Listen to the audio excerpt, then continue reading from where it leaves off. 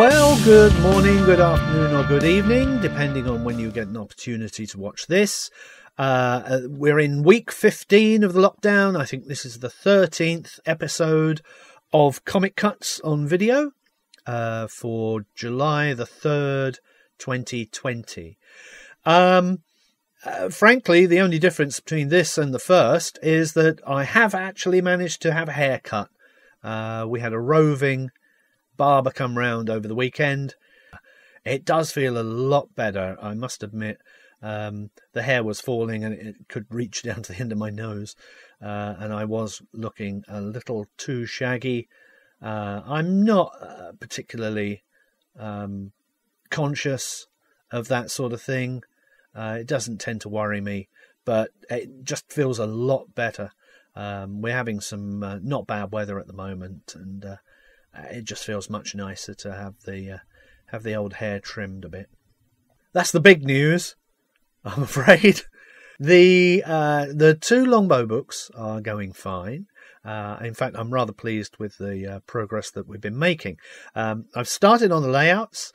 Um, I've got a rough skeleton of the uh, two volumes, which are approximately 130 pages each. Uh, I've still got to put in place. There's a, a, little bonus piece that I want to put in place. The introduction is almost written, um, but I thought I'd take an opportunity uh, to see if I could identify uh, one of the authors of the strip. The strip, when it originally appeared in Swift, was uh, at first it was uh, redrawn reprints of an old strip. This ran for about 15 weeks. And then with week 16, it became newly written stories. So all I was hoping to do was to identify the author who had written these new stories. Now, the initial stories were written by Mike Butterworth, uh, who should need no introduction. He wrote The Trigan Empire. Uh, I've reprinted a number of his works through Bear Alley Books, including Eagles Over the Western Front. Um, he's one of the uh, best biggest names of British comics and uh, one of the best writers that we had. So uh, it's always interesting to see if there's more of his work around that we know nothing about. And what I tried to do was do a style analysis of the use of certain words. So um, uh, Longbow shouts out "Hoka hey, yeah," and um, various other phrases that are repeated throughout. Um, with the move into new stories, I noticed, for instance, that uh, where Hoka Hey Ya had been used in early stories, it tended now just to be Hoka Hey. Um, other uh, uh, phrases were introduced into the uh, uh, new section by Thunder, by Manito. Um, other odds and ends that you think, well, you know, there's not as much difference between the first batch and the later batch for me to say that it's not still Mike Butterworth writing the stories. You know, the uh, the minor changes may be that his uh, writing style had evolved slightly in the years between writing Strongbow the Mohawk and writing the Longbow stories. Uh, what I can say uh, fairly definitively is that the stories were not written by um, Kelman Frost, who had been writing westerns for Swift prior to uh, Longbow appearing, and they were not written by uh, Ted Cowan. Uh, Edward G. Cowan was the author of uh, Blackbow the Cheyenne when Swift merged with Eagle, and uh, Cowan was the uh, long-standing author of Blackbow, but clearly he took over the writing of the strip uh, when the two papers merged. So, although it, there's still a little bit of a mystery about who wrote the new Swift stories, um, it was either Mike Butterworth or somebody doing a close approximation of Butterworth, which makes me wonder if it might have been someone like Andy Vincent, who has form as a writer of westerns. Uh, he was an editor at Amalgamated Press.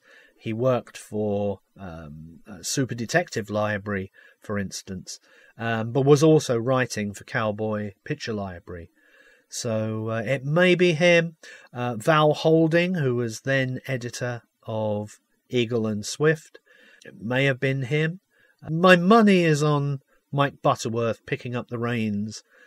Uh, he would have been known to Val Holding. He would have been known to Andy Vincent. Um, so there's a good chance that he was able to pick up uh, the reins of writing the story when they needed new stories. But I'm not 100% certain, so I'm not going to include Mike's name on the books. Uh, but I may include a little note in the introduction that uh, there's a strong suspicion that the uh, stories are still the work of Mike Butterworth, who was certainly the author of some of the stories. It's this kind of research that has meant that the books have been fairly slow off the ground. I actually spent a whole day rereading the stories and looking for clues as to who might have written them, and uh, that's another day lost in a sense uh, because I didn't actually manage to reach a conclusion. You know, not a 100% conclusion anyway. But uh, it's the sort of research that I actually enjoy doing, and uh, I th- I think it's usually worth doing. Um, sometimes it's fairly easy to identify a writer. I, I, something I recently did, for instance, was uh, go through uh, quite a lengthy period of Roy of the Rovers, trying to identify the first strips written by Tom Tully. Uh, Tom Tully is another of my favourite authors of British comics, and I was intrigued and interested to find out when he actually started writing Roy the Rovers. And I'm pretty sure, I, am 99% sure, in fact, that I've identified the first of his strips. So uh, it is worth doing. It can be a lot of fun, obviously, because I get to read some comics, uh, which I enjoy doing. Otherwise, I wouldn't be doing this. Uh, uh, in this instance, didn't quite work out as as best as I'd hoped. Um, as I said, I'm I'm eighty percent call it eighty percent sure that the stories were picked up by uh, Mike Butterworth. I'll try and uh, see if uh, it fits into his known work, uh, where it would fit in with his known work, and um, yeah, I may mention it in the introduction. I may not. Otherwise, uh, this is the mention. This is the mention of Mike Butterworth writing those stories. So I'm going to continue with the layouts over the next few days. Um, I'm going to start dropping the artwork into place uh, now that I've got the uh, skeletal uh, structure of the books. I'll finalize the introduction. We have an introduction to the second book, or rather, I should say it's an outroduction, because it takes the story beyond the uh, reprints from Swift that we're publishing and uh, will uh, reveal some of the history of Blackbow, the Cheyenne, uh, when the two papers merged. Uh, the strip continued into Eagle, and that is written by Steve Winders, uh, whose name you'll recognize if you are a fan of Eagle Times. So that's now uh, completed, and I'll be able to drop that in place next week.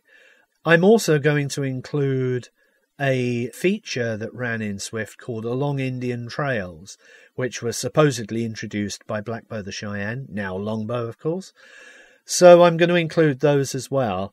Uh, this is going to increase the page count a little bit. It'll be over 130 pages. I'm not planning to increase the price.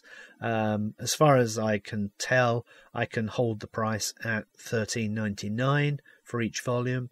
And uh, obviously, when the books come out, I'll try and offer a bit of a discount for people ordering both volumes, as well as combining the uh, postage costs. So uh, hopefully, we'll be able to offer that within the next couple of weeks. I'll be able to firm up a uh, release date.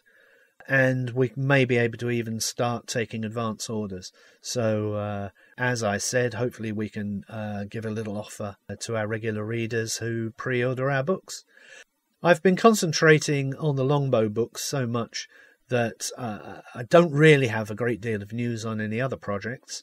I've been in touch with the artist who's doing the covers for the Gwyn Evans books and seen some uh, very rough sketches of what he has planned. I'm rather pleased with the way his mind is working uh, for these books, so uh, I'm I'm I'm looking forward as much as anybody to seeing what the results are going to be. The uh, the magazine stroke bookazine project I haven't had a chance to think about. but there is some continuing research going on. For instance, uh, over the last couple of weekends, I've been uh, doing a little bit of research into Adam Eterno and Janus Stark, um, trying to identify uh, fill in artists.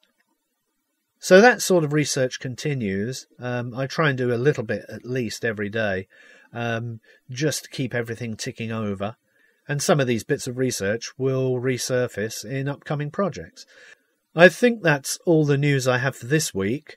Uh, hopefully, we'll have more news next week. And uh, uh, I'd like to uh, take this opportunity just to say thank you to everybody who's uh, made it this far through uh, the video comic cuts and uh, who continue to watch. I started doing these fairly close to the beginning of lockdown because I wanted to do something different um, and something a little more entertaining uh, than just simply writing the uh, regular weekly column. Uh, yes, I've enjoyed doing these for the last few months, and uh, I'll continue as best I can. Um, I have uh, plans to uh, do some more interviews, uh, but it may take uh, a bit of, of, better equipment to do those. we recorded the first few through Skype, and um, I've had some struggles with Skype not working uh, with a couple of conversations that I've had with people. Um, the quality has not been that good, so uh, I've kind of put I've had to put the interviews on hold. But uh, fingers crossed they'll they will be back. Um, it's certainly something that I plan to uh, uh, return to um, whenever I can. Um, so uh, I will see you all next week. In the meantime, do stay safe, and I shall talk to you again soon. All right, bye.